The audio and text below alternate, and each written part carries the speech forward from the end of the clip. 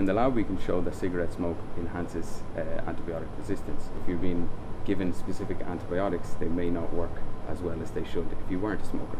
So my name is Maisem Laabei. I'm a lecturer in microbiology in the Department of Biology and Biochemistry.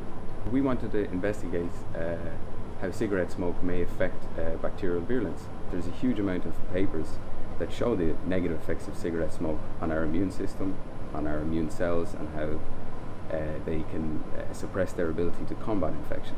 But there's very little on how cigarette smoke may impact on bacteria or our microbiome present in the nasal cavity. Cigarette smoke contains about over 4,000 chemicals, um, and one of the things that happens when you inhale or smoke a cigarette is there's a large generation of reactive, reactive oxygen species.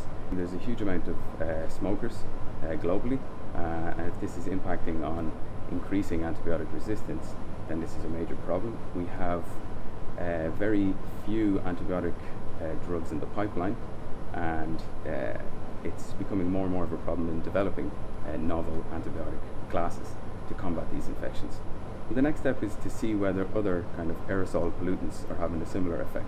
So we, we live in a, a climate at the moment where uh, the majority of our big cities have high amounts of pollutants, uh, similar components to cigarette smoke, and whether these are impacting in a similar way, we don't know yet.